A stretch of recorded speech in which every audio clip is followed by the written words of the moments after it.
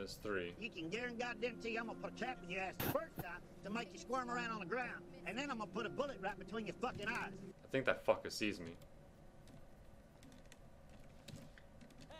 Yep.